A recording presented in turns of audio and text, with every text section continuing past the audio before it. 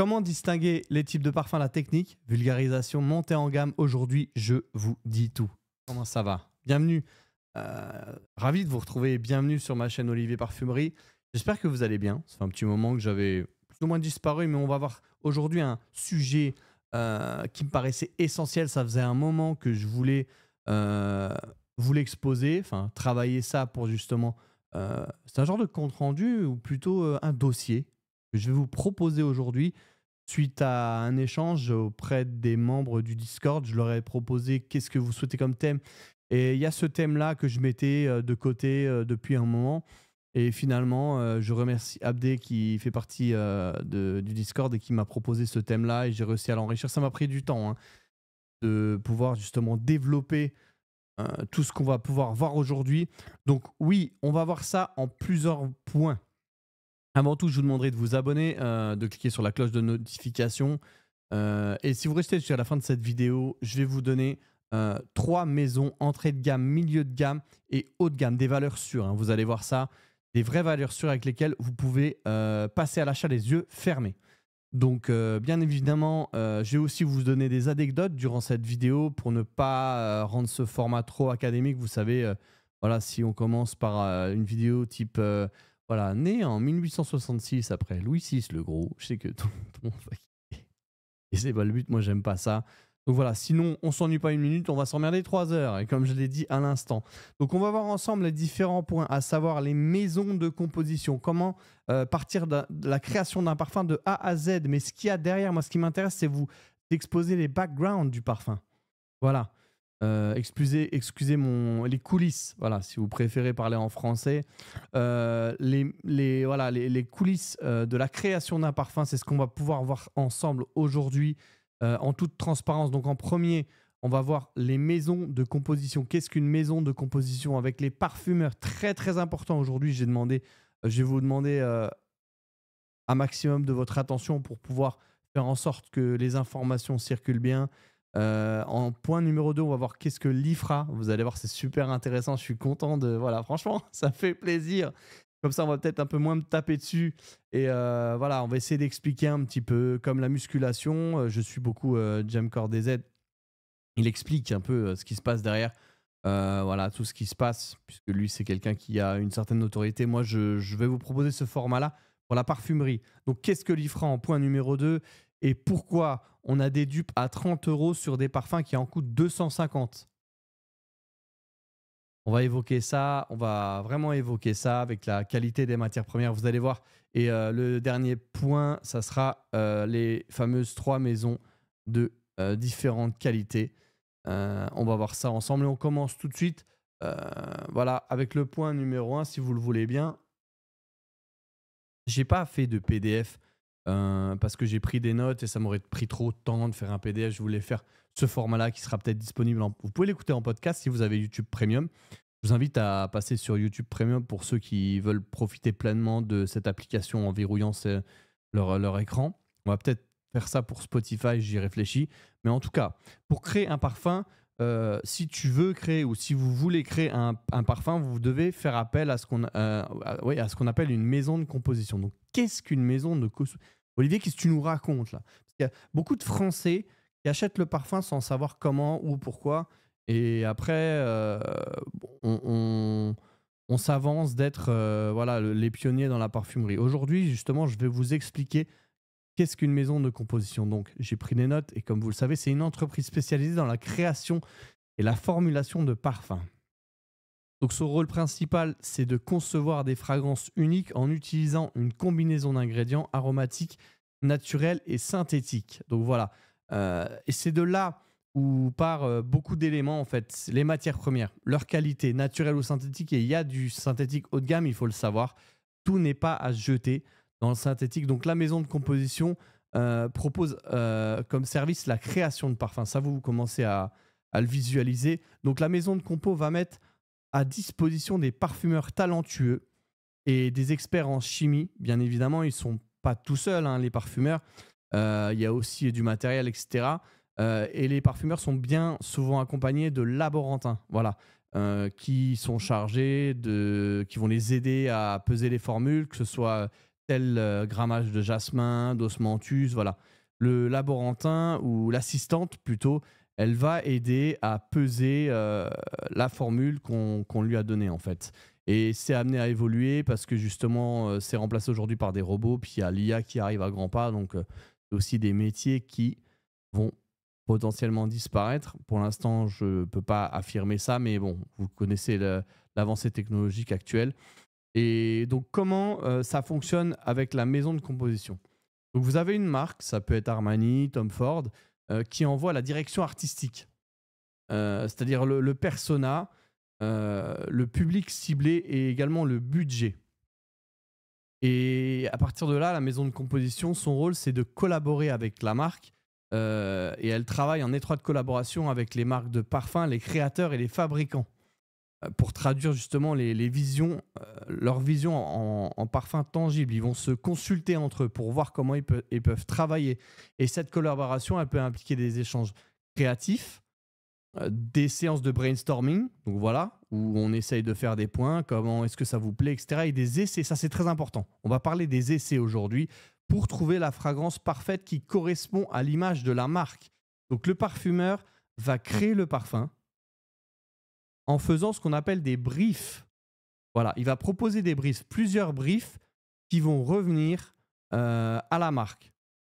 Et je sais que certaines marques, pour ne pas les citer, dont une que je mets souvent en avant sur cette chaîne, elle envoie euh, son idée de parfum, donc euh, sa DA, à plusieurs maisons de compos et elles attendent le retour des parfumeurs pour voir avec qui ils choisissent de travailler. Voilà, il y en aura un seul qui vont sélectionner dire c'est celui-ci qui me plaît le plus. Voilà. Donc ça, c'est une petite anecdote que je vous file. Il y a le contrôle de la qualité où la maison va s'assurer également d'un contrôle rigoureux de la qualité des ingrédients utilisés dans leur composition. Et euh, ça va garantir que les parfums correspondent aux normes les plus élevées en termes de pureté, de sécurité et de stabilité. Et c'est là que l'IFRA euh, intervient. Euh, on va revenir sur l'IFRA juste après. Je sais qu'il y a beaucoup d'informations. J'espère que vous êtes encore avec moi. Et on va voir juste après qu'est-ce que l'IFRA. Car l'IFRA, c'est un organisme qui veille à ça, que tout soit véritablement encadré. C'est très important le rôle de l'IFRA pour que votre parfum puisse être commercialisé, sans quoi euh, il, va, y avoir un blocage. Et euh, la maison de composition est aussi euh, a une certaine sensibilité aux tendances du marché. Vous imaginez bien que les maisons de compo, elles sont souvent à l'avant-garde des tendances du marché du parfum et elles sont attentives aux évolutions des goûts et des préférences des consommateurs. Donc, qu'est-ce qui marche en ce moment? Sinon, ils vont pas sortir un parfum qui marche pas. Euh, et ainsi qu'aux innovations technologiques qui pourraient influencer l'industrie du parfum. Donc grosso modo, la maison de compo, elle va pouvoir accompagner et conseiller les marques sur leur choix olfactif, vous l'aurez compris. Euh, elle met à disposition les parfumeurs, les matières premières, puisque euh, la ce, que, ce que fait la maison de composition, c'est qu'elle a à disponibilité des matières premières qu'elle source aux quatre coins du monde, hein. la vanille à Madagascar, etc. la maison de composition dispose de ça. Donc vous investissez dans un service voilà, donc ce que font les marques, c'est qu'elles passent par une maison de composition pour créer leur parfum et qui, cette maison de composition met à disposition un service. En somme, c'est une maison de composition, elle joue un rôle essentiel dans l'industrie du parfum en créant des fragrances euh, qui vont peut-être évoquer des émotions, des expériences sensorielles euh, pour les consommateurs du monde entier. La maison de compo, c'est par là où vous devez passer euh, pour pouvoir créer votre parfum. Même que vous êtes autodidacte, vous vous débrouillez, vous arrivez à tout faire il existe des gens comme ça. Je pense à, je crois, Imaginary Rotors. Euh, il y en a qui se débrouillent tout seuls. Euh, je pense à Pierre Guillaume aussi, qui ne passe pas par de maisons de composition. On va voir quelles sont les maisons de composition et qui ne passent pas par des maisons de composition parce qu'ils ont réussi à avoir leur propre laboratoire, etc., leur propre atelier de, de composition. En tout cas, aujourd'hui, il y a trois grosses maisons de composition sur le marché qu'on va voir ensemble. C'est franchement c'est un sujet qui me passionne parce que j'ai toujours mis en avant les parfumeurs et je suis très content de vous le partager aujourd'hui. Vous allez voir, on va évoquer les parfumeurs que j'ai pu rencontrer euh, et ces maisons dans lesquelles je me suis rencontré pour, euh, pour les trois que je vais, je vais mettre en avant. Et on va commencer par Firniche. Voilà, Firniche. Donc les trois euh, maisons sont à Paris, hein, ça vous l'imaginez bien. donc 80% des parfumeurs sont à Paris. Hein. Voilà. Donc quand votre parfum, on vous dit parfum de Dubaï, bien souvent, euh, allez, je vais pas dire parfum de Dubaï, mais de toute façon, même Tom Ford qui est aux États-Unis passe par Paris, même s'il veut pas nous dire qui euh, a fait le parfum. C'est euh, beaucoup, beaucoup, c'est en France que ça se passe. hein. Et ça, c'est Maurice Roussel qui le disait dans un podcast 80% euh, passe par Paris. Donc, on va euh, se pencher, si vous le voulez bien, sur Firmenich. Je partage euh, en scène 2. Oula, il y a un petit souci. euh, c'est parti sur ma note. Alors attendez, il faut surtout que je règle ça. Tac, tac. Pas sur Word, mais plutôt sur ici. Voilà ce qui nous intéresse, mesdames et messieurs. Donc, euh, vous voyez, ici, on nous présente Firmenich. C'est une entreprise privée euh, familiale. Je vais essayer de zoomer un petit peu. Voilà. C'est un petit peu. Bon. Euh, qui œuvre en pionnier depuis plus d'un siècle dans l'univers des fragrances des arômes fondés à Genève en Suisse en 1895. Voilà, donc euh, Firmenich a aujourd'hui sa place de leader parmi les plus grands acteurs de la parfumerie et des arômes grâce à sa passion du métier et du savoir-faire. Euh, créativité, sens de l'innovation, compréhension des goûts du consommateur sont autant d'atouts qui font sa renommée d'aujourd'hui. Avec un investissement annuel de 10% en recherche et développement, Firmenich revendique plus que jamais sa vocation première, faire de toute fragrance et arôme une expérience sensorielle unique, un instant d'émotion à partager à chaque jour à travers le monde en sublimant ce que la nature a de mieux à offrir. Donc ils sont un œil sur scène. Euh, voilà. Et je vais dire chez Nicolas, bonjour. Qui ont reconnu. Et donc, euh, ça, c'est pour la présentation de, de ce qu'est Firmenich. Mais moi, ce qui m'intéresse aussi, c'est de vous présenter les parfumeurs chez Firmenich. Euh, je vais... Là, il y a eu du changement, mais ça, on va pas s'intéresser à ça. Les parfumeurs chez Firmenich, euh, ils sont mondialement connus, mesdames et messieurs. Vous avez, en tant que parfumeur, le maestro de la parfumerie, mesdames et messieurs. S'il vous plaît, montrez un peu de respect. Je vais repasser en scène une. Il faut montrer du respect pour ces gens. Pour moi, hein, c'est important d'investir dans un parfum original qui a été créé par un parfumeur. Je pense pas que euh, en achetant un dupe, vous financez la copie d'un parfum. Et comme il y a un flou juridique, personne ne va. euh, Il n'y aura aucun souci.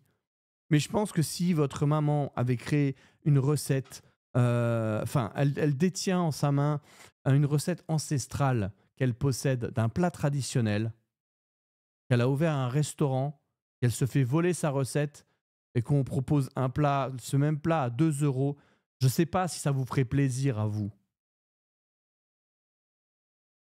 Après, chacun est libre avec sa conscience. Moi, je pense qu'on finance, euh, avec un parfum original, on finance euh, tout ce qui va derrière. Les créations, la qualité. Il y en a qui vont pas être regardants sur la qualité. Mais c'est pour ça que je fais cette vidéo, pour que justement vous puissiez distinguer. Et on va développer, vous allez voir.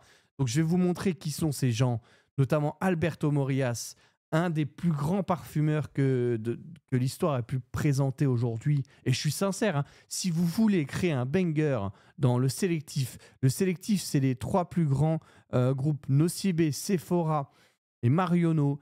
C'est Alberto Morias qui détient dans son panel les plus grandes réussites. Il a fait des parfums de ouf. J'ai pas trop. on va peut-être proposer plus tard une, vidéo sur les, les parfumeurs et leur création. Regardez, j'ai juste à vous montrer ça. hein. CK1. Attention, hein, attention, ça, ça plaisante absolument pas. Donc voilà. euh, Aujourd'hui, on focus pas trop sur les parfumeurs, mais plutôt sur la, création d'un parfum. Dites-moi dans les commentaires si vous voulez que je fasse une vidéo sur les parfumeurs et leur création. On a Alberto Morias chez euh. Euh, Honorine Blanc qui fait des très très beaux parfums aussi euh, chez Tom Ford et aussi elle a fait celui-ci qui est juste là. Euh, Juicy Couture, Olivier Cresp qui a fait Angel, j'ai même plus besoin de les présenter pour ceux qui fréquentent ma chaîne. Euh, il a sa propre maison qui s'appelle Acro aussi. Nathalie Lorson qui a réalisé avec Olivier euh, Black Opium et euh, toute la, beaucoup de la, ouais, bah, que 100% je crois même, de la fragrance de Givenchy Gentleman, de la, franchise Given- Givenchy Gentleman. Vous avez Marie Salaman qui a fait Rose d'Arabie d'Armani et pas que. hein. Elle a fait By the Fireplace de Maison Margiela. Vous avez Sophie Labbé qui a fait Tamarindo de. Je vous dis comme ça ce qui me vient à la tête. hein. Tamarindo de chez Memo. Vous avez Fabrice Pellegrin qui a fait euh, Oud Bouquet de Lancôme. beaucoup de parfums de niche chez Diptyque. il a fait 24 d'Yves Saint Laurent. Il a fait le dernier Essentiel Parfum, voilà, que j'ai pu rencontrer justement quand je me suis rendu chez, chez Firniche. On y avait un atelier.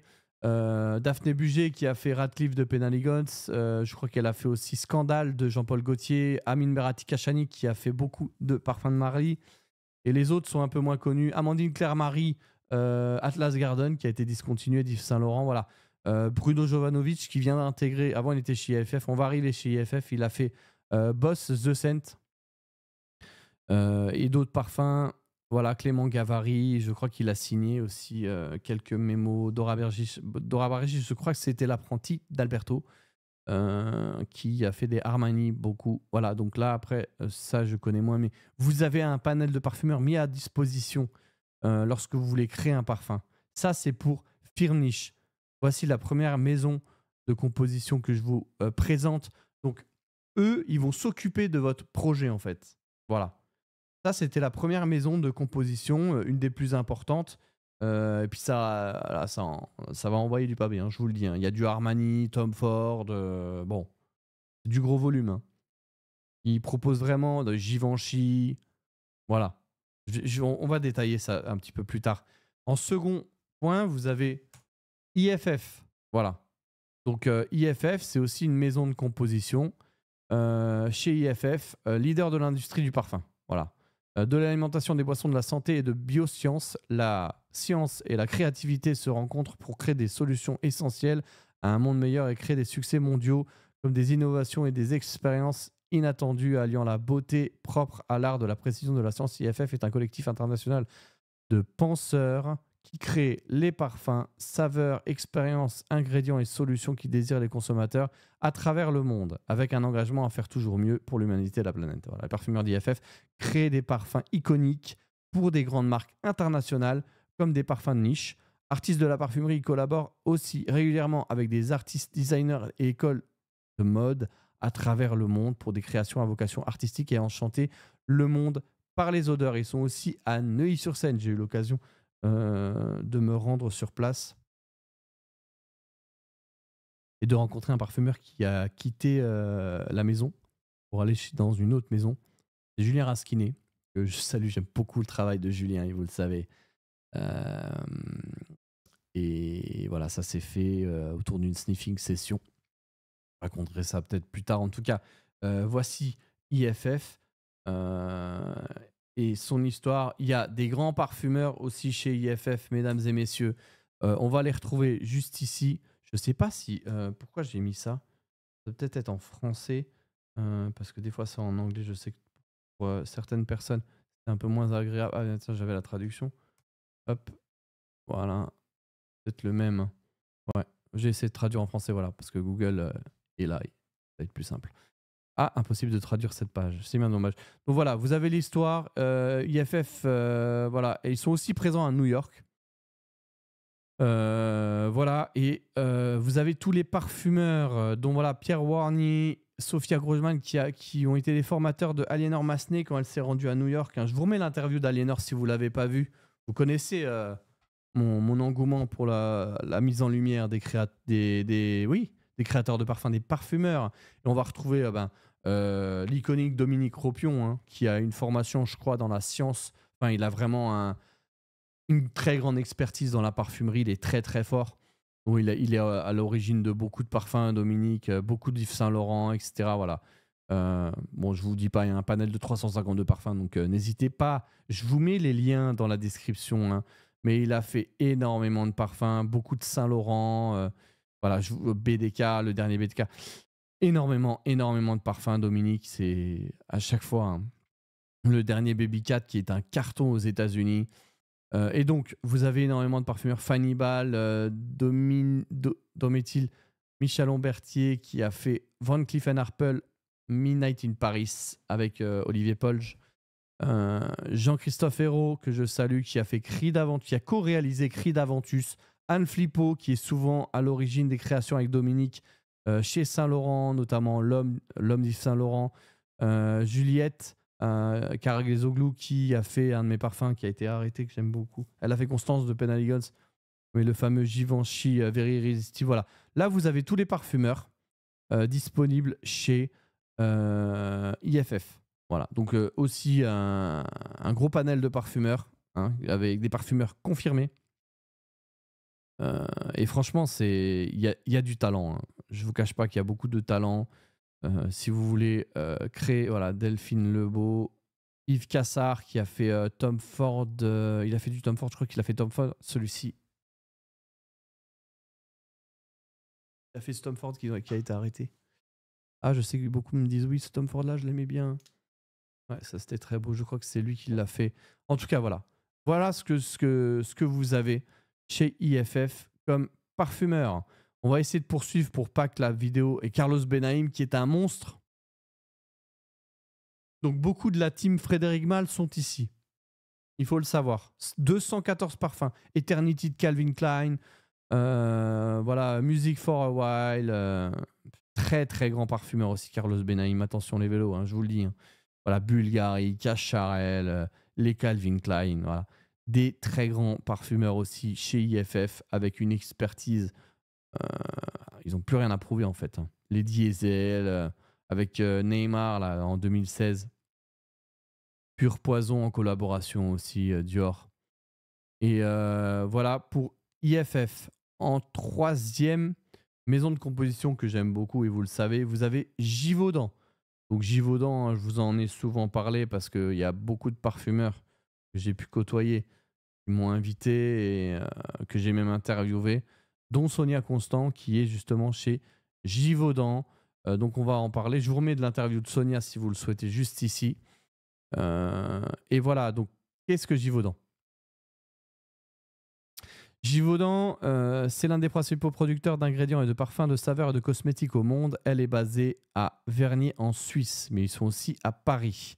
Voilà, avenue Kléber.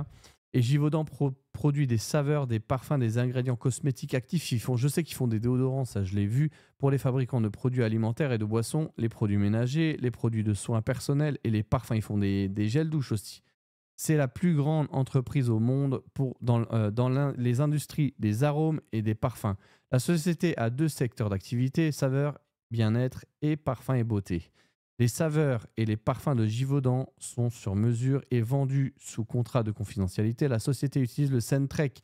Oui, c'est une technologie qui capture la composition chimique de l'odeur des plantes vivantes. Vous savez, ils mettent euh, comme un vase autour de la plante pour en extraire l'odeur. Je sais que Sonia a beaucoup utilisé ça quand elle est partie dans ses voyages pour faire. Vous le savez, elle détient la marque Elaka.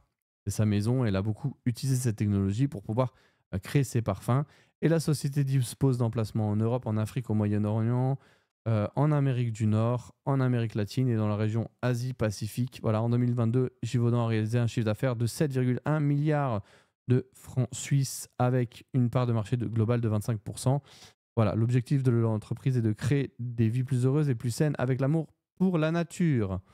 Donc c'était une Givaudan qui a été fondée en tant qu'entreprise de parfumerie en 1895 à Lyon, en France par Léon Xavier Givaudan. La société a des racines historiques à Grasse depuis 1768. Donc voilà, ils ont, euh, ils ont des sources un peu partout dans le monde pour les matières premières. Euh, en parfumeur, on va retrouver Quentin Biche hein, qui cartonne en ce moment. Voilà, ça c'est euh, Daniela Roche-Andrier. Je crois que c'est aussi qu'elle fait partie de la direction.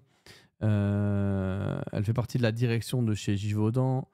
Et c'est elle qui a réalisé beaucoup de parfums chez Prada, Sonia Constant, Antoine Maisondieu, voilà, Louis Turner, je connais beaucoup les, parfums, les parfumeurs de Christophe Reynaud, qui est à l'origine du projet One Million, Calice Becker, qui est aussi la créatrice de J'adore de Dior.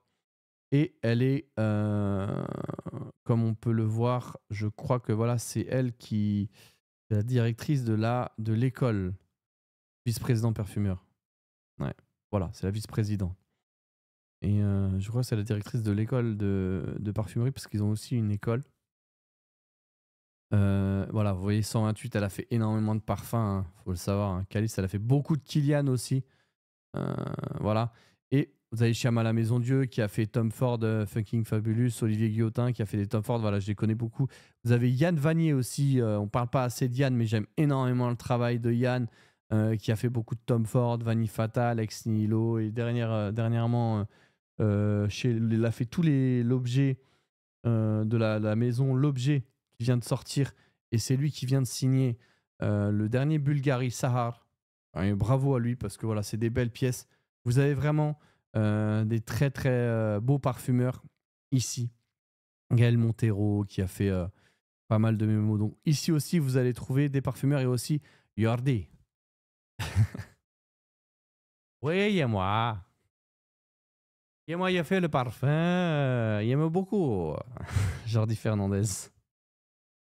Un des meilleurs parfumeurs que j'ai pu euh, apprécier euh, olfactivement à, travers ses créations, j'entends. Hein. mais franchement, euh, tout ce qu'il fait, je, suis mais subjugué. C'est incroyable ce que fait Jordi. Il a signé le dernier Maison Crivelli euh, ou de Maracuja. Voilà, ça, c'est un très très grand parfumeur. Hein.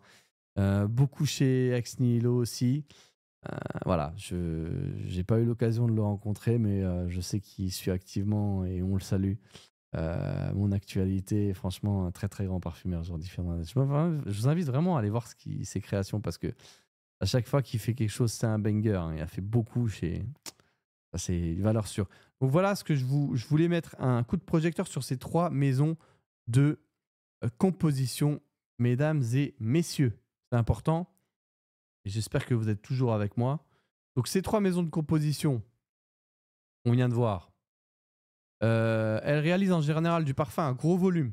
Ça, c'est important ce que je vous dis, c'est-à-dire que euh, pour Estée Lauder, L'Oréal, Puig, LVMH, les, les, grands groupes qui détiennent les marques voilà, parce qu'en fait, toutes les marques sont détenues par des. Il y a peut-être 3-4 grands groupes qui détiennent euh, au moins 50% de la parfumerie. Hein.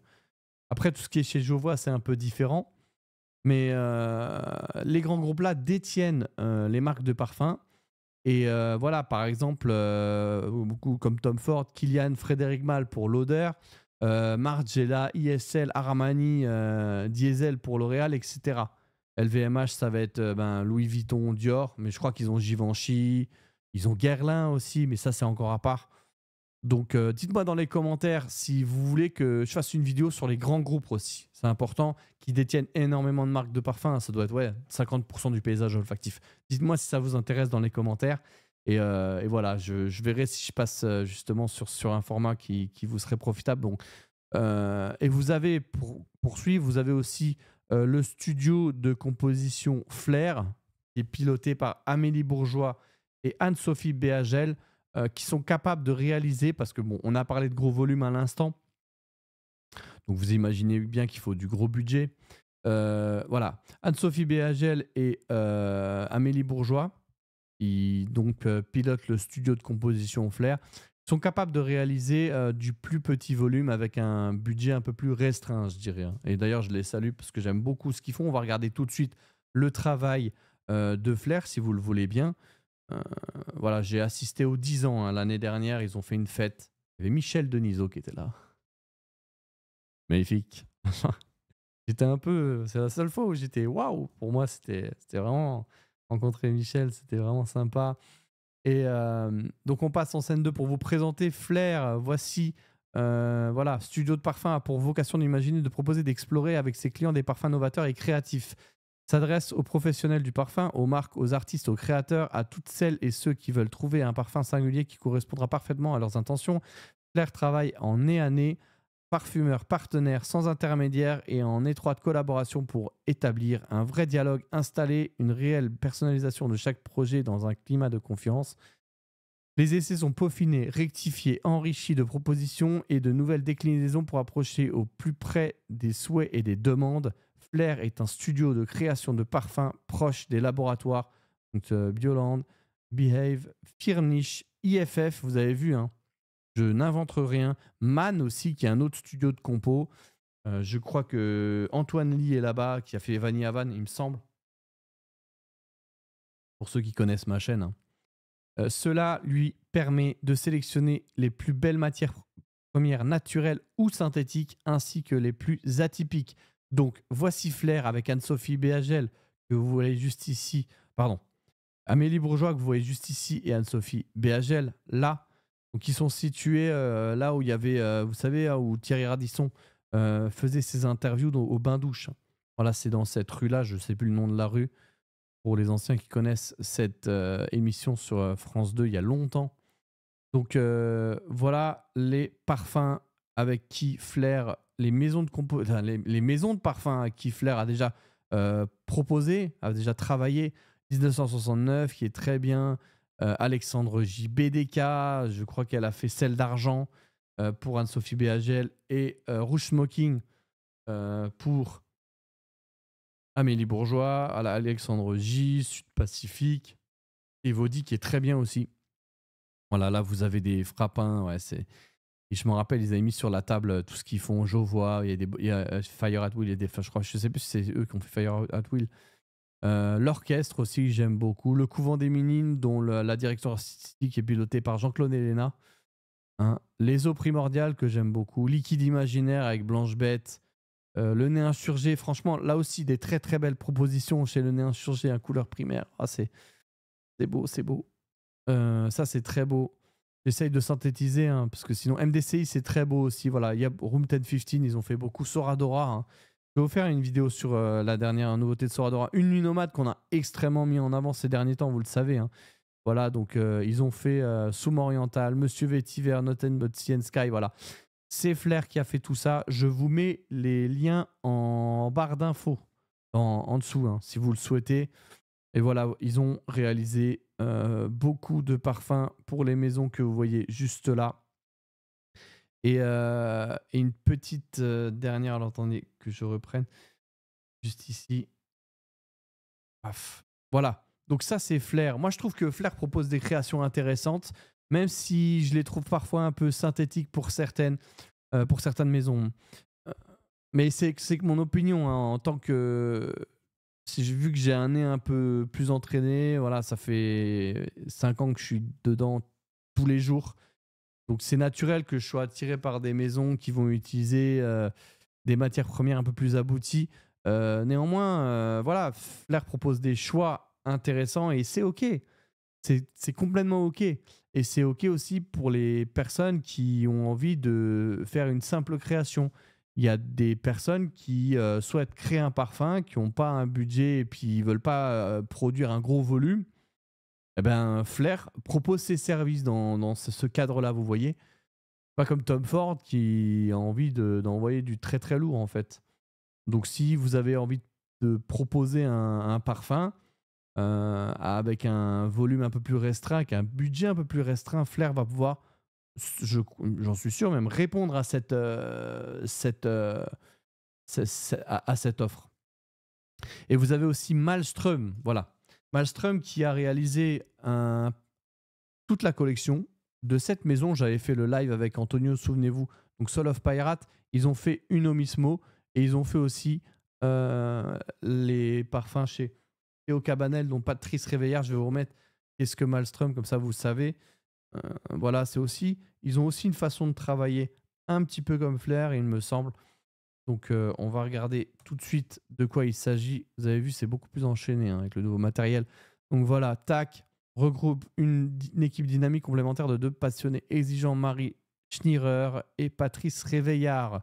Voilà, Patrice qui a signé déjà, euh, que je salue puisque je l'ai rencontré, a signé déjà quelques bangers, notamment cité au Cabanel. Hein voilà, eux aussi sont capables de produire des fragrances.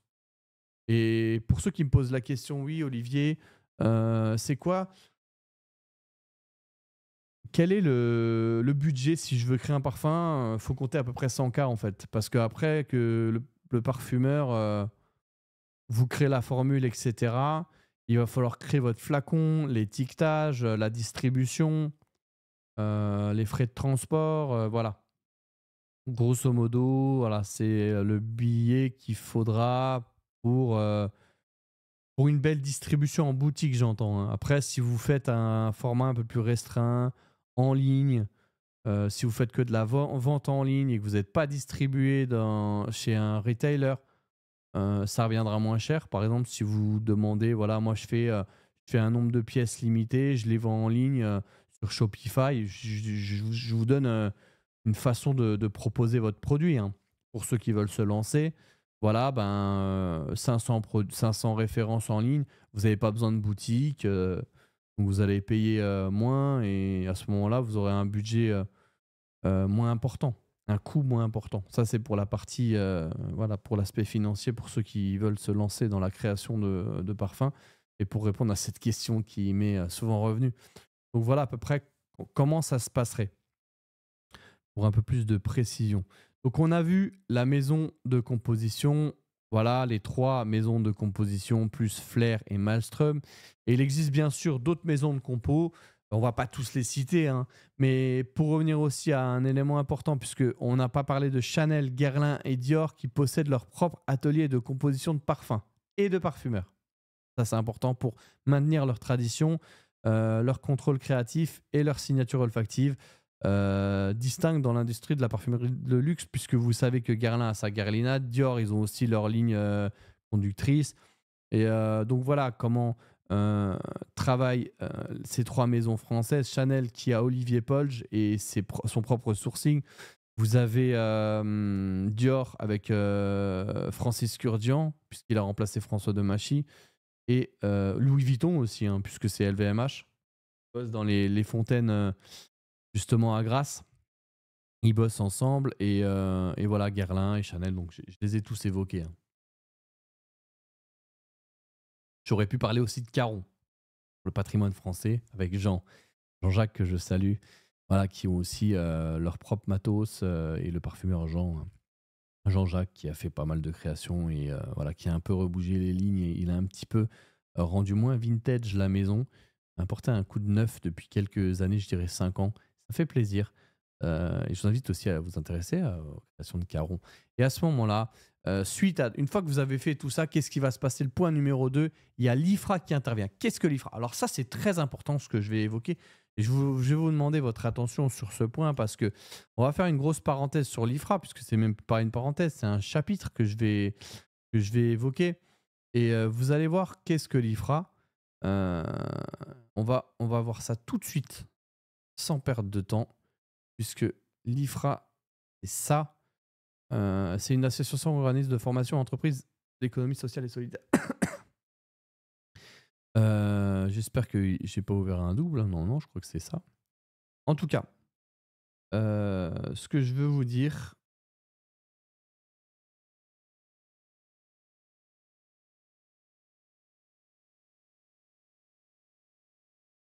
reprendre mes notes parce que je veux, je veux être précis, c'est important. J'aurais pu le faire en live ce format, mais je voulais le faire comme ça. Et l'IFRA, euh, je vais vous montrer d'autres articles.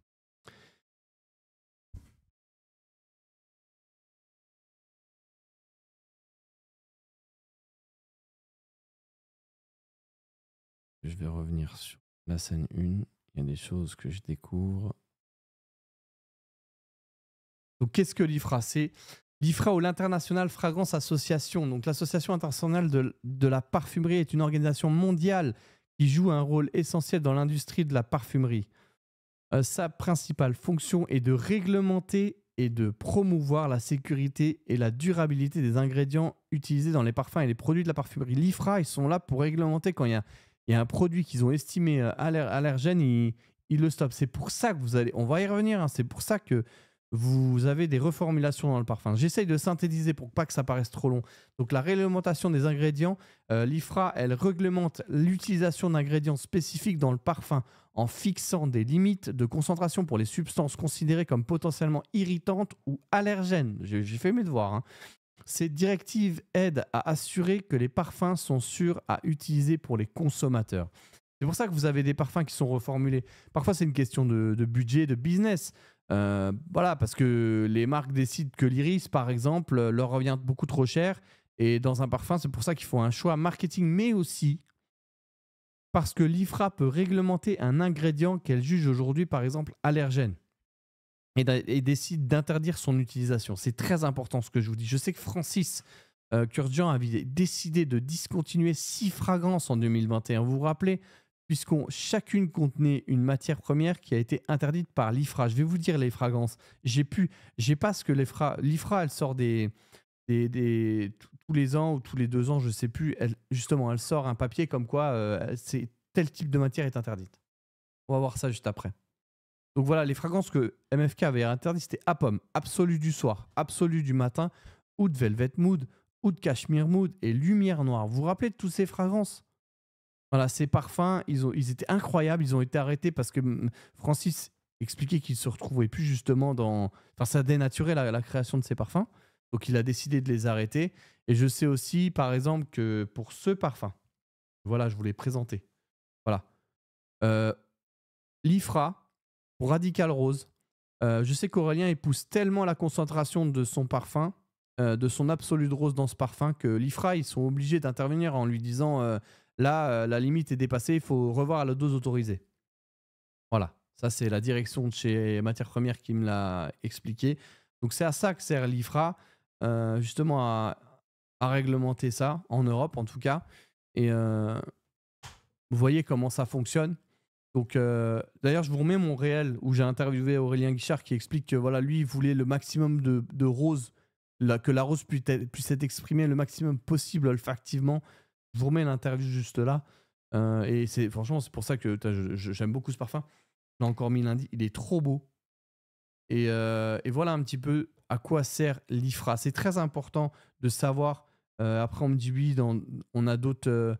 on a d'autres On a d'autres. Euh, en Europe, je sais que c'est comme ça. Je ne sais pas pour d'autres pays. Et euh, voilà, regardez Standard de l'IFRA qui publie son 51e amendement. Donc euh, voilà. C'est voilà, c'est les parfums. Et donc voilà ce qui donne les nouvelles normes. voilà, qu'est-ce qu'ils ont Voilà, de nouvelles normes de restriction de l'IFRA pour voilà la gestion des risques est basée sur le seuil préoccupant toxicologique. Donc voilà, ils donnent aussi voilà. Là, vous avez ça, c'est utilisé en parfumerie. Euh, je ne suis pas, j'ai pas de formation de chimiste, donc je pourrais pas vous dire euh, en quoi ça consiste exactement.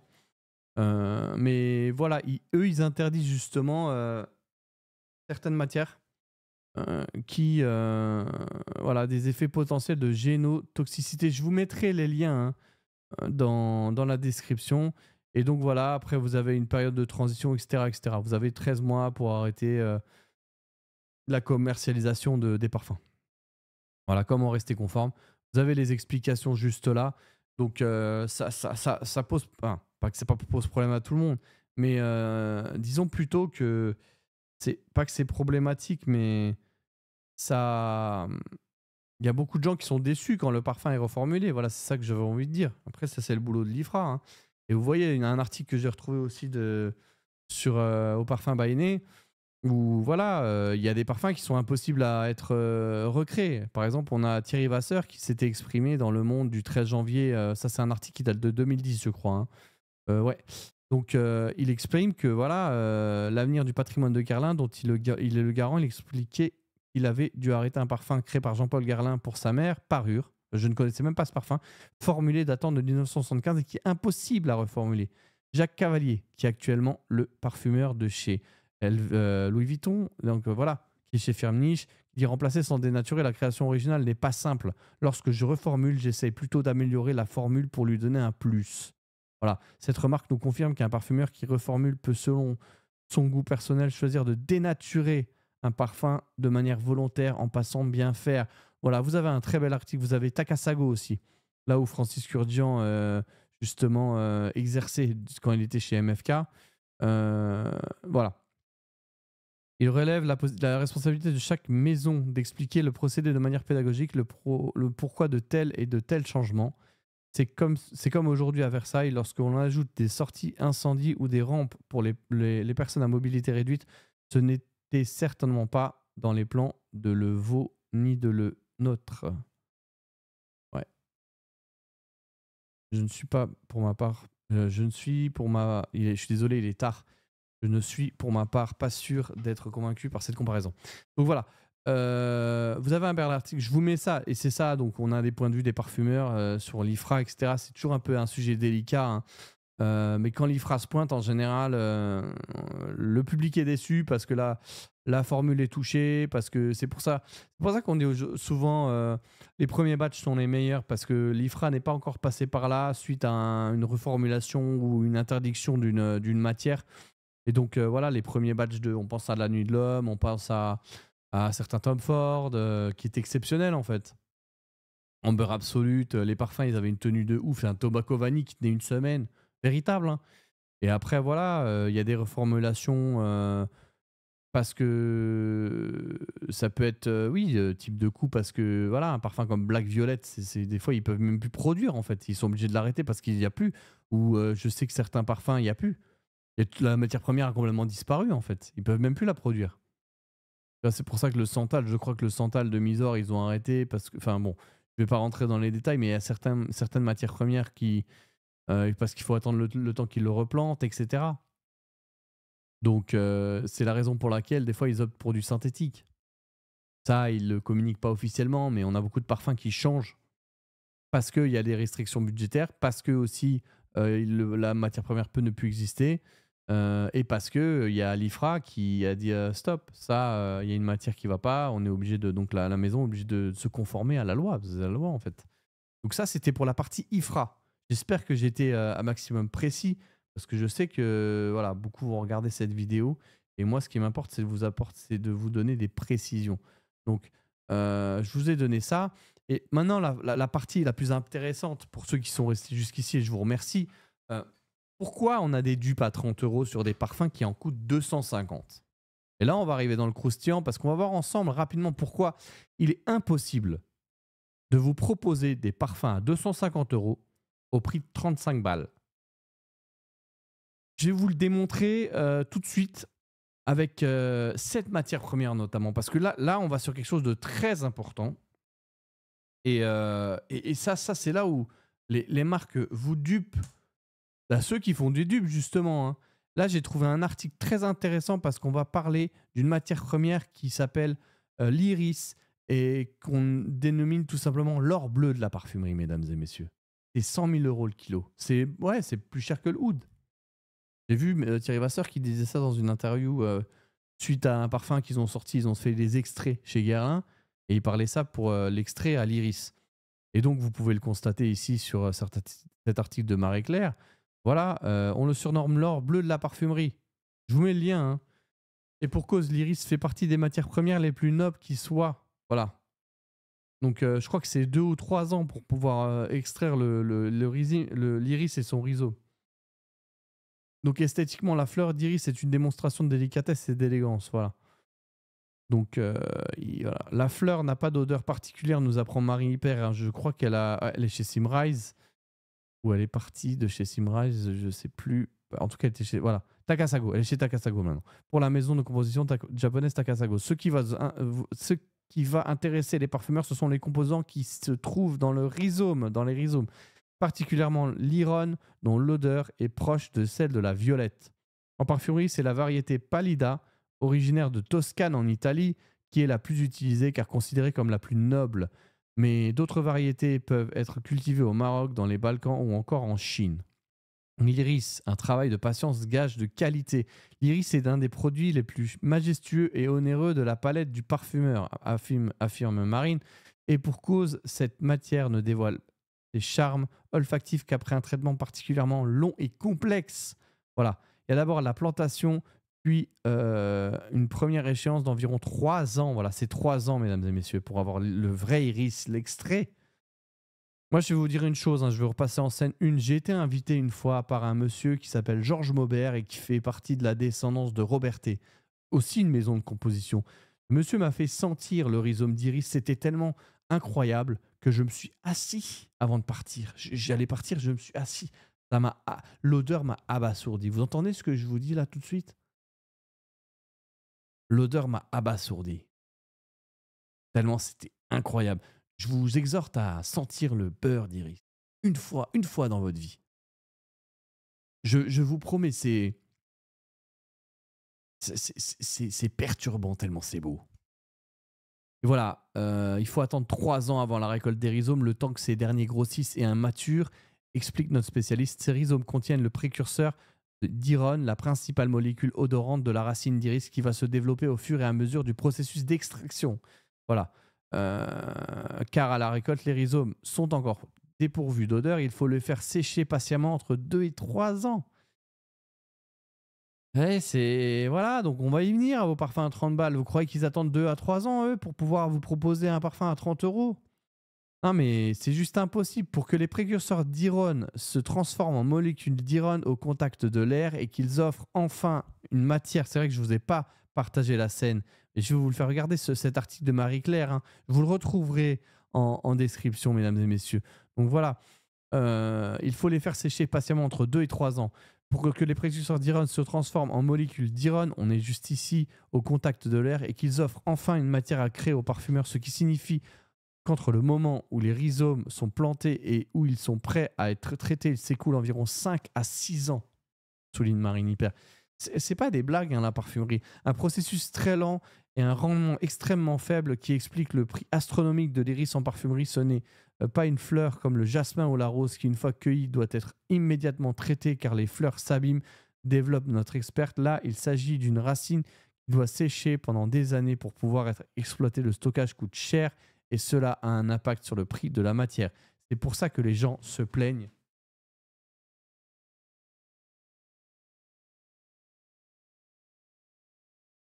que ce parfum a changé. Parce que c'était l'iris qui avait là-dedans, mesdames et messieurs. On le sait. Et il sent plus l'iris aujourd'hui. THI. Rhum intense. Il sent plus l'iris. On sent plus ce truc qui. Waouh Je vais vous faire une sélection sur l'iris bientôt. Vous allez voir. On va voir des beaux parfums. On va voir des très très beaux parfums avec différents budgets. Et des fois, ça sera du synthétique. Bien évidemment, au prix que ça coûte. C'est très beau. J'en ai chez Montal. Vous allez voir. Des très beaux parfums. On va voir ça ensemble plus tard. Et voilà. Donc, euh, concrètement, son coût peut être tourné entre 50 000 et 100 000 euros le kilo. Je suis très content de faire cette vidéo pour que vous puissiez voir. C'est un article qui est récent, mesdames et messieurs. Ah, je suis content. Hein. On s'intéresse à la parfumerie. Regardez, 4 du 9, c'est tout récent. C'est il n'y a même pas 6 mois que Marie-Claire fait euh, avec Marine. Merci à Marine Hyper pour ça. Et voilà, 50 000 et 100 000 euros le kilo. Voilà. Si tu te balades avec ça dans Paris et les gens savent même pas que sur toi, voilà, c'est de l'or, que c'est plus cher que l'or. En comparaison, le prix d'un kilo d'essence de vétiver qui proviennent aussi de racines se situe entre, entre 300 et 500 euros. Mais ce n'est pas le même process, pas le même timing et pas le même rendement, justifie la professionnelle. Voilà. C'est une note poudrée et boisée. Donc voilà, l'odeur que ça, ça, a, c'est une fois que les rhizomes sont prêts à être traités, près de place à l'extraction ils sont généralement réduits en copeaux ou en poudre. La distillation à la vapeur d'eau permet d'obtenir un beurre d'iris ou concrète qui va donner aussi euh, qui va donner le côté assez gras de la note. Voilà. Donc il y a tout un, procédé. Je ne veux pas trop tout lire parce que sinon ça va prendre trop de temps. Voilà, vous avez des notes à l'iris, enfin vous avez des parfums à l'iris aussi, euh, comme euh, chez Frédéric Mal. Iris poudré, ça c'est des vrais parfums à l'iris, ça Pierre Bourdon. Là, attention, Frédéric Mal, c'est de la vraie parfumerie. Hein. Si vous voulez vraiment investir, c'est de la vraie parfumerie. Donc voilà. Euh, et pour celles et ceux qui aimeraient l'iris au point de ne plus compter, les parfums Jacques Fat propose un produit exclusif l'iris de Fat, une eau de parfum vendue au prix pharaonique de 1470 euros, les 30 ml. Donc là, c'est du vrai. Ça, c'est du vrai. C'est pas euh, Iris Frérot, tu vois, euh, hein? Iris 30, 30 euros, Iris Frérot? Non, non, non, non, non. Ah non? Hein? Bien sûr. Mais voilà, je sais que je vais me faire détester pour cette vidéo, mais moi, vous savez, je suis là pour vous dire la vérité. Je, suis là strictement pour vous dire la vérité. Voilà, donc il y a tout un détail sur euh, les fragrances qui sont mis en avant. Et moi, pour revenir sur le sujet, en fait, ce qui m'intéressait, c'était de vous parler de la qualité des matières premières. On a parlé de la qualité des matières premières euh, et surtout celle-ci. Donc on va, on a vu ensemble euh, pourquoi c'est moins cher parce qu'en fait, ils utilisent des qualités de matières premières à moindre coût. C'est pour ça que vous voyez des marques qui pop en vous proposant des dupes à 30 euros. C'est pas parce que c'est du synthétique en fait. Vous avez déjà vu des montres et des matériaux euh, nobles à 60 euros? Ça n'existe pas en fait. Une montre en saphir à 60 euros, ça n'existe pas. Euh, mais comme personne n'est au courant, on vous fait croire que c'est la même alors que pas du tout. Euh, c'est bien, c'est bien du synthétique en fait. Il n'y a qu'un nez aguerri qui peut différencier ça surtout dans l'évolution. Euh, vous sentez le naturel euh, au chimique qui sent le labo. Vous sentez le labo, en fait. Ça sent le labo quand, quand c'est parce que vous avez des qualités dans le synthétique. Et quand c'est une piètre qualité, vous le sentez direct. C'est une qualité un peu plus aboutie, c'est au dry down. Parce que le secret du parfum, c'est dans le dry down. C'est très important. Ce que je vous dis, c'est au, séchage, dans les notes de fond. Quand le parfum sèche, c'est là où on sait vraiment euh, la, la, valeur du parfum. Donc c'est pour ça qu'il faut attendre un véritable retour sur le parfum qui sèche et l'essayer plusieurs fois. Voilà. Donc, euh, on a des spécialistes là-dedans. Hein. vous avez Adopt qui cartonne dans, le, dans les parfums à 30 euros. Ils viennent de lever 26 milliards, je crois. On va regarder ensemble. J'ai bossé, hein, je vous dis. J'ai regardé avant pour, pour m'avancer. C'est un article qui est tout frais là. Voilà. 26 millions d'euros. Hein. Adopt qui cartonne. J'en parle jamais parce que c'est pas ma politique en fait. C'est pas ma cible. Moi, mon but, c'est, et je vais repasser en scène une, moi, mon but, c'est de vous élever. Et j'ai rien à gagner, en fait. J'ai rien à gagner. Même si j'avais Zara abonné, je continuerai de faire ce que je fais. Parce que je le fais pas pour vous. Je le fais pour moi en premier et parce que j'ai envie de délivrer un message qui m'est propre et qui m'est cher. C'est vous élever en fait, vous connecter à vous à vous-même, à votre propre spiritualité. Et la parfumerie, c'est une clé pour ça. C'est une véritable clé. Et je vous assure qu'avec des vrais parfums, vous allez pouvoir retrouver cette essence que vous ne retrouverez pas dans le générique parce que le générique produit beaucoup moins d'émotions. La véritable iris, je vous dis, c'est tellement une émotion puissante que vous vous asseyez, c'est votre âme qui prend une baffe. Mais je vous le dis, hein. J'aimerais bien vous dire autre chose, mais j'ai que la vérité à vous offrir. Donc voilà, une maison comme Adopt, en fait, elle va proposer des parfums à 30 euros. Donc voilà, euh, elle s'est fait connaître pour son offre de parfums à des prix accessibles, entièrement fabriqués euh, en France. Voilà, 170 euh, magasins, 2000 points de vue. Donc voilà, ça cartonne parce que les Français, en général, ils n'ont pas envie d'investir en eux pour justement, et je m'inclus là-dedans puisque je fais partie de ce passage-là. Je suis dans la classe moyenne, mais j'ai investi en moi pour arriver à où est-ce que je suis. Et voilà, moi, c'est pour ça que je vous dis d'essayer de vous développer, euh, de sortir de la masse, en fait, des 97% pour vous offrir un, cadeau comme vous vous offrez un, un, smartphone à 1500 euros. On le sait. C'est pour ça que je dis, voilà, on a la possibilité, c'est juste mettre la priorité. Il faut mettre la priorité. Moi, ce matériel que vous voyez aujourd'hui, ça fait trois ans qu'on travaille justement pour pouvoir investir dessus. On prend des financements, etc. Mais la parfumerie en fait, en fait partie. Quand je reçois du à moi ou du Nichané juste là, j'ai investi, mesdames et messieurs. Ça m'a coûté. Si tu ne te sacrifies pas pour ce que tu veux, ce que tu veux deviendra un sacrifice. Donc voilà pourquoi j'essaye de vous mettre en avant. Et euh, Adobe, pour en revenir à ça, il cartonne. La petite parenthèse euh, pour le développement personnel, il cartonne parce que justement, les Français, et beaucoup de gens, ils s'en fichent. T'en as qui s'en fichent aussi. Ils veulent un parfum qui sent tout simplement bon. Et en fait, voilà, on voit que Adopt cartonne. Et pourquoi je vous parle d'Adopt? Parce que Adopt aujourd'hui, avec, regardez, un chiffre d'affaires de 100 millions d'euros à l'horizon 2025. Donc, Adopt, j'ai vu pas plus tard qu'aujourd'hui, dans une story de Firmnish, ils avaient euh, tagué euh, Fabrice Pellegrin, euh, elle avait tagué Fabrice Pellegrin et d'autres parfumeurs. Donc, ils travaillent aussi avec des maisons de composition. Je crois que Sidonie Lancesseur, qui a fait Black Phantom et beaucoup de Kilian, travaille, a, fait des parfums pour Adopt. Donc avant, j'avais pour position de dire que, voilà, on va revenir sur les trois questions à la fin. Mais aujourd'hui, certaines maisons peuvent se payer des, des, parfumeurs, les services d'un parfumeur, parce qu'elles ont tellement engrangé de sous qu'elles y arrivent. Donc moi, c'est ça que je voulais vous dire euh, dans un premier temps, c'est que, voilà, c'est... Il y a des marques comme Adobe qui, à force de faire du chiffre et qui euh, voilà, qui parfois sont, elles sont sous un incubateur de grands groupes derrière, eh ben, elles parviennent à se payer les services de maison de composition. Et voilà, euh, comme je vous l'ai dit avec Firnish. Et il y a aussi une autre maison que je parlerai jamais, c'est Dieu m'en préserve, c'est Latafa. Latafa euh, qui produit énormément de dupes, qui vient de se payer les services de Quentin Biche. Alors voilà, là j'ai tout TikTok qui en profite pour me dire ouais mais là il y a Quentin Biche. Là, c'est Quentin Biche. Oui, mais quelle qualité Quelle qualité Quelle est la qualité derrière? C'est ça la question que vous devez vous poser. On viendra sur les trois questions. Quelle est la, maison de composition? Quel est le parfumeur? Quelle est la qualité des matières premières?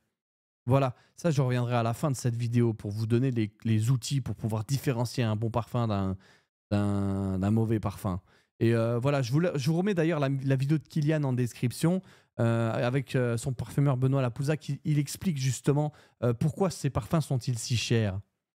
Et voilà, observez la qualité, attendez le dry down et ne soyez pas dans la spirale de la hype. C'est très important ce que, je veux vous dire. Sachez que pour la, plupart des influenceurs que vous voyez aujourd'hui, sur les réseaux, en anglais, même en français, qui envahissent TikTok, ils sont rémunérés pour vous dire ce que vous devez entendre. Parce qu'ils ont signé en bas à droite. Voilà, pour vous enlever votre libre arbitre. Moi, je ne peux pas, je vous le dis, c'est quelque chose que. Voilà, les gens sont, ils sont, ils sont tellement désespérés, ils veulent dire du n'importe quoi juste pour gagner des sous. Je peux rester ici et mentionner toutes les choses qu'ils font. Je veux garder cette vidéo la plus courte possible. Et vous voyez que ces gens, ils sont perdus là-dedans. Dans cette spirale-là, à cause des vues, à cause de l'argent. Et c'est juste incroyable. Moi, je, chacun fait ce qu'il veut, hein, mais voilà, ces personnes-là, il faut que je fasse n'importe quoi pour des vues, pour des likes. C'est ça qui les anime tous les jours.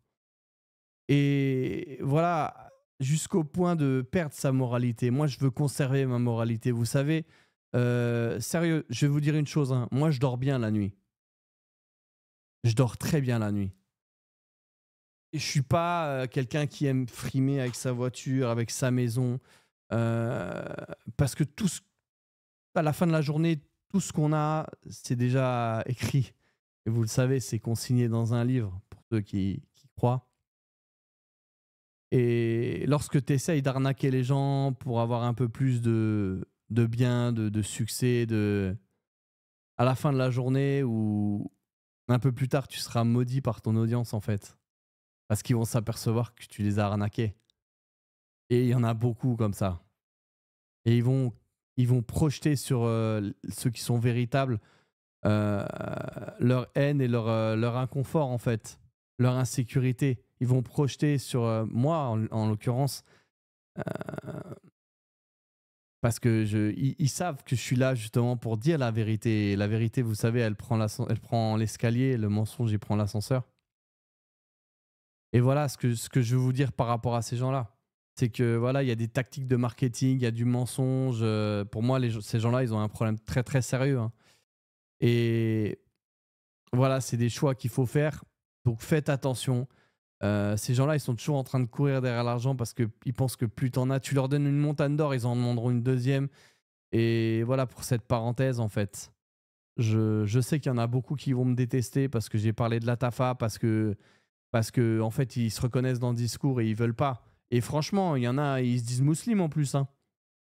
Après, chacun fait ce qu'il veut. Vous savez, moi, je fais pas de prosélytisme.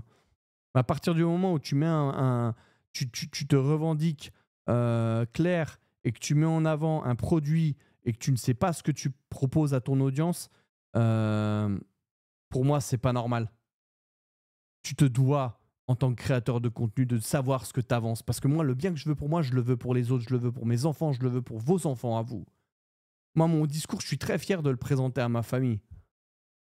Et pas de dire, ah bah je sais pas. Hein. Moi, ce qui m'intéresse, c'est d'être transparent avec vous et de vous montrer, il y a ça, c'est ça, c'est comme ça et c'est comme ça. Voilà, pour la parenthèse. Donc, j'avais dit que je terminerais euh, sur le quatrième point que vous attendez tous, euh, un petit bonus hein, euh, que je vous offre. Et quelles sont les trois maisons de différentes qualités en entrée de gamme, milieu de gamme et haut de gamme? Pour finir cette vidéo en entrée de gamme, vous avez Montal que vous connaissez tous. Hein. Donc, euh, je vais vous repartager mon écran. Comme ça, euh, voilà, vous, vous, avez directement euh, les choix que j'ai fait pour. justement, parce qu'il y a beaucoup de gens qui me disent Ouais, tu nous proposes que des parfums qui sont trop chers. non, justement, là, je vais vous proposer des parfums qui sont accessibles, mais de qualité. Vous pouvez y aller les yeux fermés. Hein. Donc, vous avez Montal qui propose des. Bon, on sait que c'est un petit peu du générique, mais c'est un peu euh, high level. Je, moi, je, voilà, il y a des parfums que je porte. Intense Café, les bougies de chez Montal, c'est la meilleure. Intense Café, c'est la meilleure. Les parfums, que ça soit euh, même Mancera, hein. euh, Intense Café, Black Wood, il y en a que je mets, j'aime bien. Après, moi, comme je vous l'ai dit, je suis à un autre niveau, donc je vais plus trop de là-dessus. Mais dans un parcours olfactif, Montal, c'est le niveau 1 de la parfumerie. Vous êtes obligé de passer par cette maison avec des Intense Café, avec des Mancera ou de vanille, etc. Ça, c'est très très bien. Ensuite, vous allez trouver une maison que j'ai beaucoup mis en avant ici. Euh, et qui va s'appeler Une nuit nomade, vous le savez. Hein. Donc, euh, Une nuit nomade, vraiment OK. Euh, voilà, vous avez le storytelling ici directement. Je vous mets les liens en description. Hein.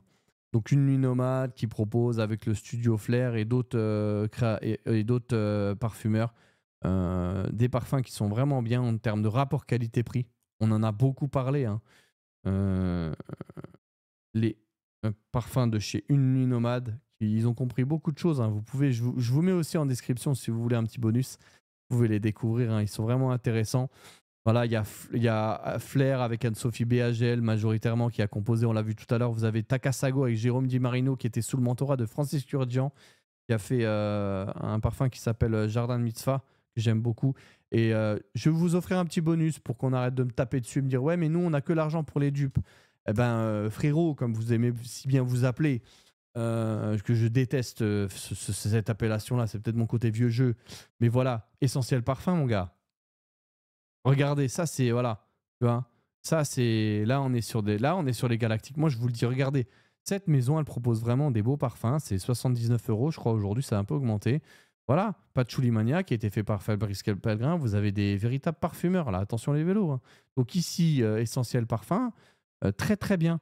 Nathalie Lorson qui a fait, on l'a vu tout à l'heure, euh, les, les, Givenchy, vous avez Bruno Jovanovic, vous avez Antoine euh, Maisondieu qui a fait, euh, qui a co-créé euh, Armani Code, Calice Becker qui a fait Jardeur de Dior. Vous avez ici, je l'ai rencontré au plus, pardonnez-moi. J'ai des lunettes trop petites. C'est il y a Sophie Labbé, oui, Nathalie Graciaceto qui a fait aussi en collaboration avec Quentin Biche, elle a participé sur le mal parfum. Quentin Biche qui est juste là, on en parlait tout à l'heure. Là, vous avez Anne Flippo aussi qui a fait pas mal d'Yves Saint-Laurent. Voilà, donc là, très belle maison. Si vous voulez vous lancer à moindre coût, vous avez la possibilité de chiner un parfum. Pas trop cher, les mecs. Hein? Pour la team qui me dit oui, on n'a pas de sous. Ok, je suis comme vous. On est tous dans la classe moyenne. On sait très bien qu'en 2024, c'est. Eh ben là, vous avez des possibilités. Je fais pas que du contenu pour euh, l'élite, non, puisque je, je connais ça. Donc je vous propose de l'abordable. Après, si vous voulez monter en gamme, on a euh, en milieu de gamme une maison que je mets souvent en avant parce que je m'entends bien avec son fondateur et que j'ai toujours euh, apprécié sa manière de mettre en avant les parfums, c'est BDK. Parce que BDK, ils ont un packaging sympa, ils mettent tout en avant sur le packaging, ils sont transparents. Il faut que je vous montre. BDK.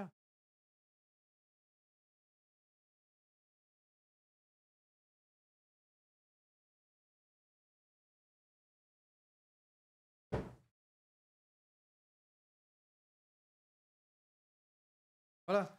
BDK. BDK, ils viennent, ils vous disent Ok, nous, c'est comme ça. On a les matières premières ici. On a euh, toutes les explications. Et on te dit qui est le parfumeur. Il n'y a pas de problème. On est transparent. Tu vois? Moi, c'est ça qui m'intéresse. C'est la transparence. C'est pas. Euh, et on sait pas. Hein. Ah, on sait pas. Non, il n'y a pas d'on sait pas. Tu vends un parfum, tu expliques qu'est-ce qu'il y a derrière. Tu vois, tu vas euh, place Vendôme chez Chopard où j'y connais énormément de monde, il va dire on est fier de travailler avec tel alliage qui vient de Suisse, qui vient d'ici, qui vient de là. Comment ça se fait quand par, certaines maisons elles te proposent un parfum à 150 euros, 200 euros? Ah ben je sais pas. Hein. Comment ça tu sais pas? Donc BDK ils ont tout compris parce qu'ils proposent des parfums, ça c'est le dernier. Avec une explication derrière. Vous voyez, BDK Parfum a été construit à une bibliothèque olfactive. Ils viennent d'ouvrir leur boutique euh, rue Saint-Honoré et chaque coffret de parfum renferme des histoires libres, etc. etc. Donc voilà, David Benedek, que je salue. Euh, vous avez euh, les créations qui sont là. J'aime beaucoup le dernier, franchement, je le kiffe. Je crois que c'est mon préféré. Le 312. je, vais vous, je vais vous le review aussi, le 312, le tout dernier, celui-là. Donc voilà, la collection parisienne. BDK, c'est très bien. Franchement, rapport qualité-prix. vous avez de la transparence, vous avez des parfumeurs, vous avez de la qualité. Voilà, c'est une maison que je vous propose en milieu de gamme. Euh, voilà, vous avez Mathilde Bedjaoui qui a fait euh, chez IFF le Gris Charnel, chez Simrise euh, le Velvet Tonka by Alexandra Carlin. Voilà, vous les avez tous là, le Gris Charnel en extrait, mais le normal. Le Velvet Tonka, je le vois pas ici, mais bon, peu importe, il doit être un peu plus loin. Voilà, et, tous ces, et le Vanille Laser aussi, qui a été fait par Dominique Roupion. Donc là, il y a une transparence je pense que si je clique sur le, sur le parfum, on va voir aussi euh, sur le site de Joa peut-être le parfumeur. Voilà, vous avez. Voilà, direct. Le mot du parfumeur, j'aime bien, je vois, ils ont compris aussi. Euh, Mathilde Bedjaoui, ici. Voilà. Il y a un très beau parfum. Donc voilà, là vous avez une transparence, vous pouvez y aller. Les matières premières, etc. Ça, c'est. Voilà, de toute façon, BDK commence à être euh, vraiment connu puisqu'ils sont distribués dans plus de 500 points de vente et ils viennent d'ouvrir rue Saint-Honoré. Donc, euh, ça, c'est une maison que je recommande. Et là, on va rentrer dans, le haut de gamme. J'ai sondé euh, mon audience sur, sur Discord. Je leur ai dit, les gars, c'est quoi entrer milieu haut de gamme? Et il y en a qui m'ont. Un que je salue, Arnaud. Il m'a donné ma maison préférée. D'ailleurs, je vous remets le top 10 hein, des maisons de parfum. J'avais fait un top 10. Hein, n'hésitez pas à aller le voir. Donc voilà, en scène 2, tout de suite, Ex Nihilo. Il y a Arnaud qui me dit Ex Nihilo, mais les yeux fermés, Ex Nihilo, ils ont une élégance à la française et c'est exclusivité Givaudan. On a vu Givaudan tout à l'heure avec, euh, voilà, euh, eux c'est pareil. Euh, quand vous cliquez, vous allez voir Frère Narcotique, c'est Quentin Biche derrière. Voilà, ils sont une création de Quentin Biche. Vous avez, attention, vous avez euh, d'autres créations avec les collections Babylone. C'est super beau avec ce Nilo. Blue Talisman, il est incroyable. Si vous voulez remplacer votre Dior sauvage dans le style des parfums bleus, c'est super beau là. Il y a moi qui l'ai fait. Il y a Jordi, il a fait le parfum. Il a mis beaucoup d'amour. Il a mis l'amour, la passion. et, c'est la grande classe en fait. Franchement, ça, voilà, c'est magnifique. C'est une classe, c'est la classe à la française. Je me rends James Bond si je mets ça. Voilà, et euh, des parfumeurs comme Yann, Vanier qui a fait euh, Citizen X, euh, voilà, très très belle maison. Voilà, 280 euros. Vous avez des parfums un peu plus abordables, comme on a vu Florgan Narcotique, parce qu'il y a plusieurs collections. Voilà, The Hedonis qui est imparable. Voilà, 100 ml, 104... Bon, ça, ça a pas mal augmenté. Hein. Mais on est sur des, des, parfums exceptionnels. Ça, je l'ai, je l'ai tabassé. Je vous mets la review de The Hedonis si vous le souhaitez. Voilà, il y a encore moi qui l'ai fait. Il a fait beaucoup de parfums, Jordi. Franchement, une très très belle maison euh, ex nihilo. Mais si vous voulez rester dans l'élite, euh, je vais vous en citer d'autres parce que vous savez que moi maintenant, c'est cette parfumerie vers quoi j'ai envie de. Je, me, je, dirige tout simplement. Euh, il y a cette maison que je suis vraiment en train d'exploiter. J'ai fait un réel chez. Je vous le mets aussi. J'espère que j'aurai assez de place pour le remettre. Mais il y a cette maison-là que j'affectionne particulièrement. Je suis vraiment en train d'investir chez eux. Il y a J'aurais pu vous parler Xerjov aussi. Mais je trouve qu'il y a beaucoup de déchets chez Xerjov, cette maison-là. À Mouage. Voilà, si vous voulez l'élite de la parfumerie. À Mouage, c'est simple, ils ont les meilleures résines du game. Hein. Voilà, j'en discutais encore avec euh, le personnel de chez Jova. Euh, attention les vélos. Hein. Voilà, ils ont des extraits des, des aussi. Euh, les extraits ici, ils ont des Atars. Vous avez les extraits, c'est magnifique, des grands parfumeurs. Vous avez Simrise, Alexandra Carlin qui a réalisé le dernier Crystal et Goldman. voilà. Franchement, super beau. À moi, je vous invite vraiment à aller voir. Vous allez même. Je vous mets ensuite aussi, euh, si vous voulez avoir plus d'informations sur Amouage, euh, sur Fragrantica, vous trouverez ici toutes les créations. Euh, voilà, Reflection Man, qui a été fait par des grands parfumeurs. c'est Sieuzac, je crois que c'est Lucas Sieuzac. J'oublie à chaque fois son prénom, pardonnez-moi. Voilà. Vous avez des Atars, c'est très très beau. Euh, à moi, c'est une maison qui date de 1983. J'avais fait euh, un réel aussi dessus. Donc voilà à peu près. Je crois qu'on a terminé ce grand chapitre euh, concernant mes sélections. Donc voilà, je vous ai mis entrée, milieu et haut de gamme. moi, je pense que je vous ai tout dit. maintenant, vous savez tout, du moins l'essentiel. Et euh, voilà, pour revenir à un conseil que je peux vous prodiguer, euh, si vous souhaitez passer à l'achat d'un parfum, il y a trois réflexions à avoir si vous le voulez, hein. sinon vous allez acheter des dupes et là, vous n'avez pas besoin de moi. Donc, quelle est la maison de composition? On l'a vu ensemble. Le parfumeur et la qualité de la matière première. Ça, c'est très important. Si la personne n'est pas en mesure de vous fournir ces informations, c'est sûrement qu'il y a un loup. Voilà, il faut se le dire. Aujourd'hui, euh, on est fatigué. Avec Google Externe, on peut savoir. Euh, parfois, on va vous sortir aussi. Oui, mais la maison ne souhaite pas communiquer sur, euh, sur, ces informations ou c'est fait à grâce. Ah bah oui, c'est comme les, montres, elles sont faites en Suisse. Ah, moi, je l'aime bien cette réponse. C'est fait à grâce. Ah bah, bah, bah, bravo. Oui, tout est fait à grâce. Hein. Même le hood, il est fait à grâce. C'est connu. Hein. Ah, bien sûr. Eh. Non, non, mais ça, c'est The Réponse. Faites attention, red flag quand vous entendez c'est à grâce de tout. Hein. Ça, c'est trop facile. Et comme je voulais préciser, les marques euh, qui produisent des dupes aujourd'hui, euh, qu'on appelle également du générique, c'est de piètre qualité. Bien souvent, hein, c'est du synthétique et il y a différentes qualités dans le synthétique. Euh, aujourd'hui, elles parviennent à, offrir, à s'offrir les services d'un parfumeur. donc, essayez de conserver ces points de vigilance par rapport aux marques. On, en a parlé tout à l'heure, même le générique. Je vois beaucoup de, de maisons, pour pas les nommer parce que je veux pas leur faire de la pub. Ils mettent ombre nomade et ils te sortent un dupe, ils disent c'est la même chose. Eh, mon gars, sérieux, voyez-le de mota fifine. Malheur aux fraudeurs. On lit le même livre ou pas? Ah, Je vais m'adresser à vous directement parce que là, dans une semaine, vous savez très bien euh, ce qui va se passer pendant 30 jours. Et voilà, je voulais le placer, ça. Parce que moi, je, suis fatigué de que le consommateur il soit pas informé. Tu vois, c'est comme maintenant, il y a le Nutri-Score. On sait. Si Nutri-Score, on, ben, on devrait faire pareil pour la parfumerie. Tu mets un Nutri-Score et t'arrêtes de nous dire que tu mets un. C'est un, c'est un ombre nomade, c'est la même chose. On va me dire qu'un oud, euh, voilà, qui vient du Bangladesh, qui a, coûté, euh, je sais pas, il est à 60 000 euros le kilo, arrive à nous vendre un parfum à 30 balles. faut arrêter de duper son audience. Je sais que je vais pas me faire que des amis, mais moi, je suis là pour la vérité, je vous le dis. Je ne pourrais pas faire autrement. Même si je le voulais, je pourrais pas. Et voilà ce que je vous dis, euh, ce que je voulais euh, conclure en tout cas. Euh, et merci de votre patience pour des fois, lorsque mes émotions arrivent un petit peu à ébullition, je dirais. Ça m'a fait plaisir de partager ça avec vous. N'hésitez pas à vous abonner, à me dire si vous aviez conscience de ces éléments et aussi quelques éléments à corriger si toutefois il y en a. J'ai essayé d'être le plus précis possible parce que je sais que mon contenu est consommé par des professionnels, même par vous. Donc à travers ce dossier, dites-moi si ça vous intéresse qu'on vous propose un format sur pourquoi un smartphone à 1500 euros par exemple, mais pas de parfum à 250. C'est quelqu'un de mon Discord qui m'a dit Olivier, ça serait bien que tu, fasses un petit peu ce type de format. ça m'a fait plaisir vraiment de, vous partager ces informations. C'était un travail pour moi et un plaisir à être partagé. Je vous dis à très bientôt sur Olivier Parfum.